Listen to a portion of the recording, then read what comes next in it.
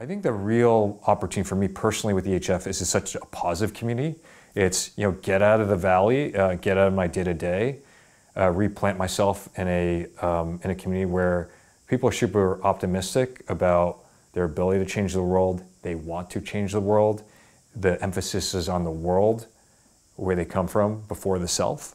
And I think that that um, that experience and that that ability to tap into that sort of positivity as a community, actually, I think can be super helpful in rewiring the way I think. Um, and so um, I come here not only for all the great professional um, opportunities, but also just an opportunity to, to reflect as a person.